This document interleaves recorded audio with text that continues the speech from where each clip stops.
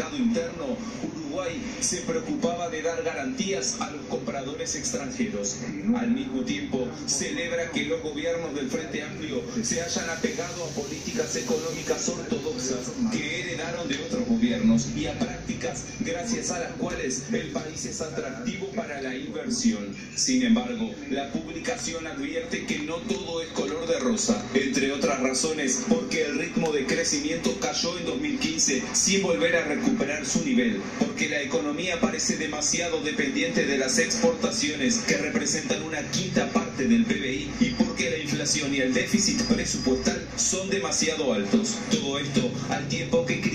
rigidez del mercado laboral, asegura que el sistema educativo necesita reformas y advierte que la población está envejeciendo. Los uruguayos dan por sentado las buenas noticias, ahora en cambio se están concentrando en su descontento, señala al hacer referencia al movimiento Un Solo Uruguay, gracias a cuyas protestas, opina la revista, la popularidad del gobierno